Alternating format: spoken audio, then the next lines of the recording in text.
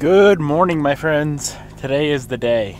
This car, Bobby's new, new to us 2017 NSX, is getting thousands and thousands and thousands of dollars worth of maintenance. Now, I tried for three days straight to get actual pricing on what this would cost at the dealership, and I could never get a clear answer. If I was to truly bring this car into the dealership, it would have been an absolute nightmare. 2017 NSX, and I need a bunch of maintenance done on it. I just need to create a file for you then. It needs new tires, new brakes, twin motor unit, gear oil change, transmission, and clutch fluid, all that change. Four tires, mounted and balanced, one thousand nine hundred and thirty and ninety six cents. My parts manager will have to give me pricing on everything. I have your phone number here. Um, cool. Um, once my parts manager comes in, I'll get all this pricing and I'll give you a call right back. I appreciate it. Thank you. And anyone you spoke to is probably left for the day. Um, is this just for the oil change or the oil change and tire rotation?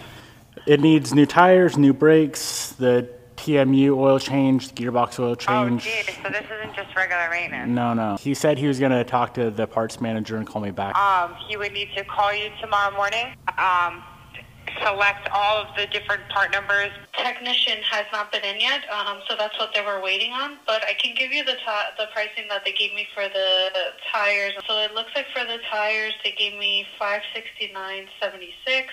And then when will I know pricing on the fluids?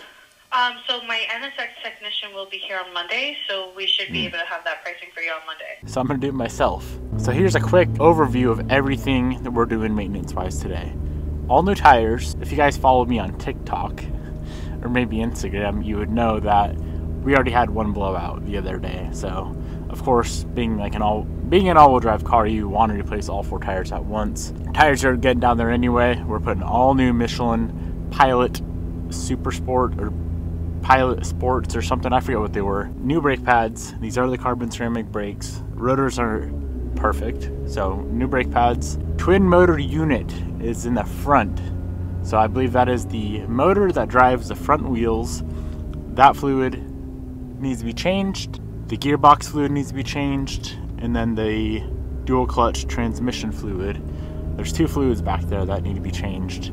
So we're gonna do all that and I plan on refinishing the wheels and maybe a couple other little goodies as well. So let's do a quick rip to the shop. See how beautiful and glorious this twin turbo V6 sounds and go from there.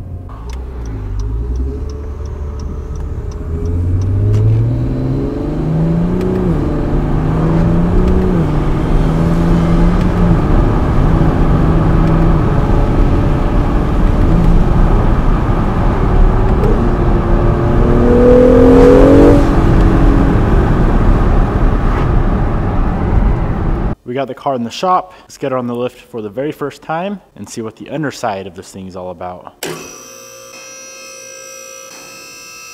There's so many undershields on this car. The whole underside is just one big fat panel. Unfortunately, it looks like this front panel here, she got a little bit chewed up.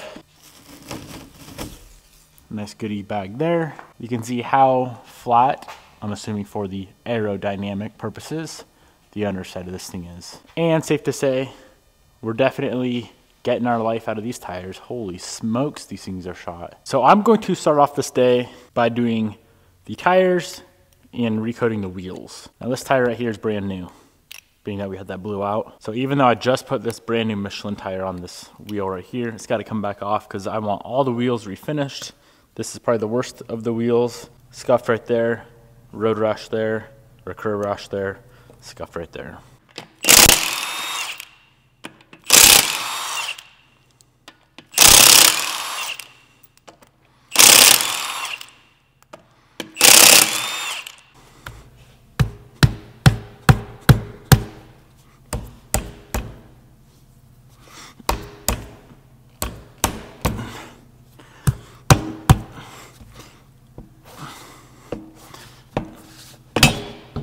Oh, man, they're stuck on there. I bet if I cleaned up that little bit of rust on the hub, the wheels would come off much easier.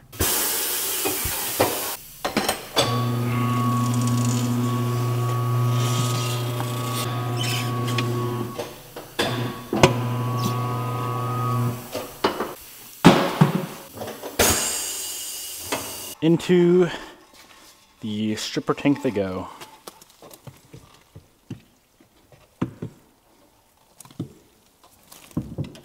Nice.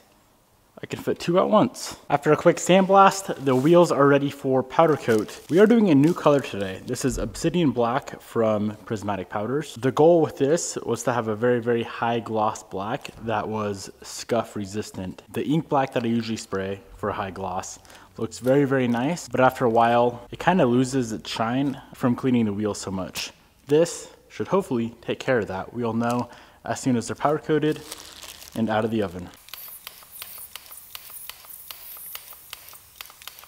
Wheels are fully coated.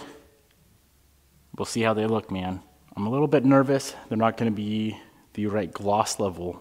The wheels just came out of the oven. Guys, look at this freaking finish, man. It's been a while since I had powder turn out like paint.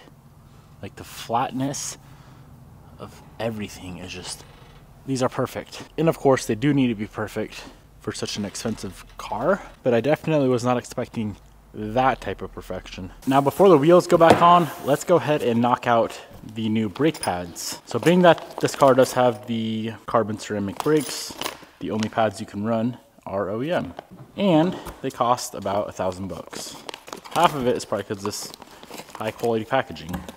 So this here is what a thousand bucks in OEM Honda slash Brembo pads gets you. All of the pads, these here I believe are the wear indicators some grease, the pins, rear, front, and a full instruction sheet. The pads look relatively simple to get off. We have this bolt right here, 13 mil nut on the backside, pin here, pin here. As soon as those three goodies are out, we can go ahead and remove the brake pads.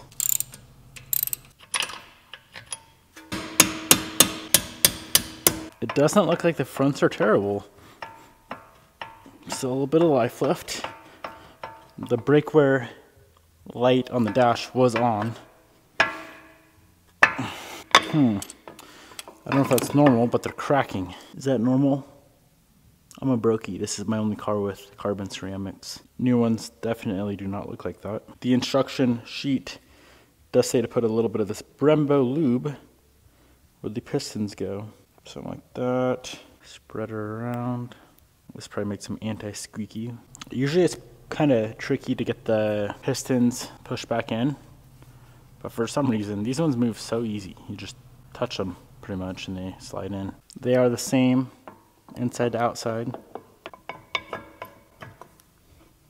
New pins, new thingy. And lastly, the wear, wear indicator cable goes on.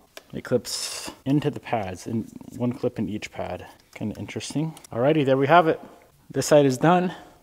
That was just as simple as a Evo or an STI. So I said the fronts weren't in terrible condition. Some cracking, which I feel like is probably common for a carbon ceramic brake. But my friends, very, very happy right now that I'm doing these because the rears were about to destroy the rotors. You see that? It appears to be copper or brass or something. But these things, the rears, completely gone very, very happy right now that I am doing the pads. So the wheels and tires are finished. That was the most time consuming thing. The brakes are finished. That was fairly time consuming. Now let's go ahead and knock out all of the fluids that I want to replace. So we have the TMU fluid, which is up front. It's the twin motor unit. Two motors. One's like a brake side. It's part of the hybrid system, powers the front wheels.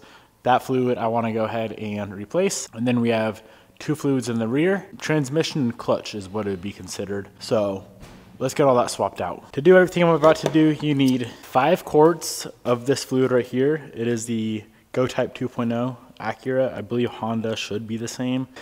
And then the ATF DW1. I'm going to start up front with the twin motor unit fluid.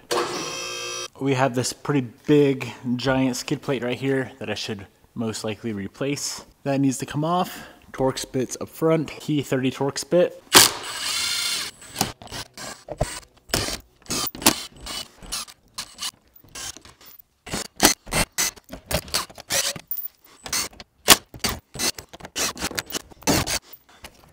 And all the other bolts is a good old 10 mil.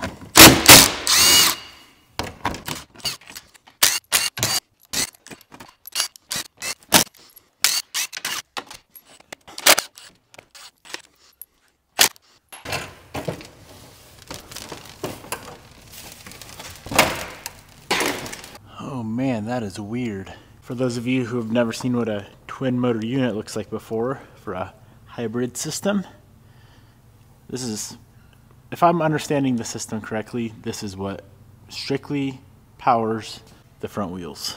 There's no sort of drive shaft that goes to the rear diff. It's not like the traditional old school mechanical all-wheel drive system where it's all integrated in one, completely separate than the rear. But here we have our drain and here we have the fill. At least they made it easy and it does say right on it, ATF. I'm gonna start out with cracking loose the fill.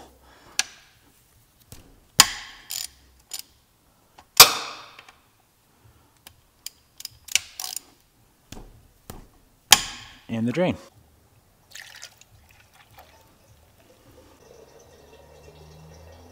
So the twin motor unit is going to take 2.56 quarts of the ATF DW1.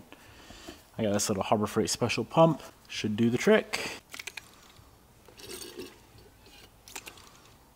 Front's all finished up.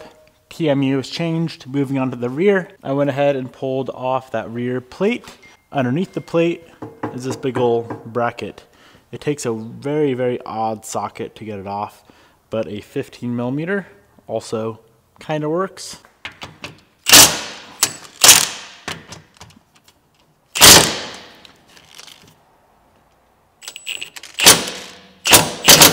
Come on.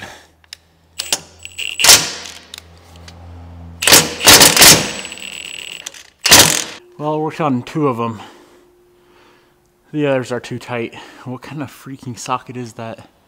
It's not a Torx. I've never seen it in my life. Rear is a little more complicated than the front. It looks like the diffuser now also has to come off, which hopefully that will be able to be removed without pulling the bumper.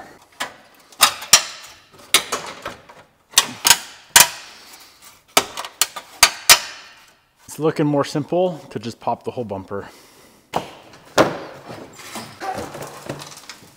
Okay.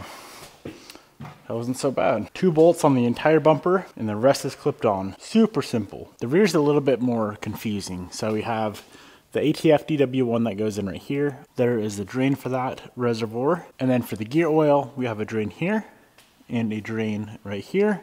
And the fill for the gear oil, the Go 2.0, is this one here. I'm really curious how this compares to working on, say, like a Huracan or a some other type of supercar, you know? Even still, working on this is a little bit trippy. I gotta be quite a bit more careful because every little thing is like $2 billion to replace. This exhaust looks like it would take about 10 seconds to swap out though, so that's cool.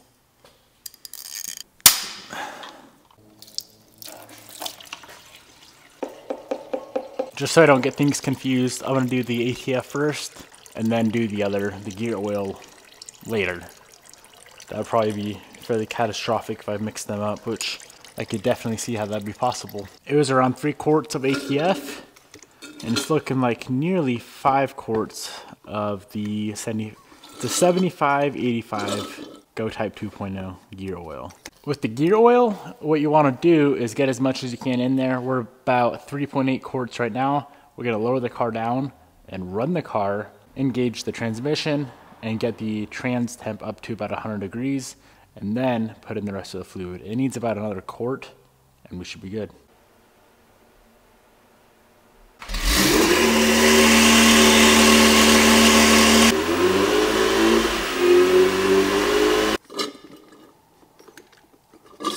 All of the work is finished up. From here it's just reassembly. So we have rear bumper with diffuser, which I'm scared to put on.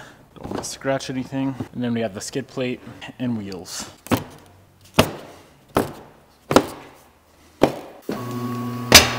Some good old freshy meats going on. Michelin PS4S is what these are. Pilot Sport 4S. Tires are fully mounted, balanced, ready to go. Two of the wheels are coated with some ceramic coating. It's a new kind of coating I'm trying out. I have two coated, two non-coated. I'm gonna see how good it works. And if it works good, I'll let you guys know. Okay, that looks pretty nice. Hopefully Bobby likes. That looks really nice. 125 foot-pounds of torque on the lug bolts. And this thing is ready for a drive. We do need to drive it a bit to clear these codes, being that it was on the lift. Spinning the wheels, it doesn't like it all that much. So let's go for a drive. But first, how does she look? Oh man, that looks good.